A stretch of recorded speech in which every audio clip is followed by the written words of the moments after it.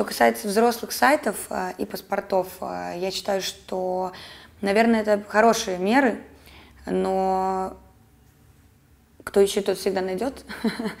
Поэтому, возможно, наша молодежь станет более такой неразвратной, более образованной, но кто захочет найти эту информацию, он ее найдет.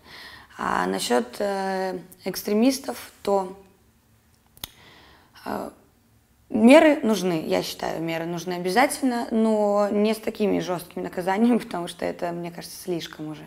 Хотя, если не будет э, жесткого наказания за какие-то поступки, мы не будем так бояться их совершать.